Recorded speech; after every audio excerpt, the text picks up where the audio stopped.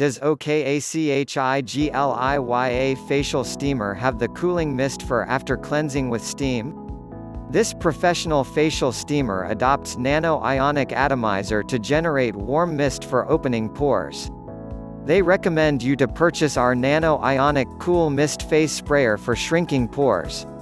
They don't manufacture steamer with both cool and warm mist because it only use normal atomizer and it's not professional.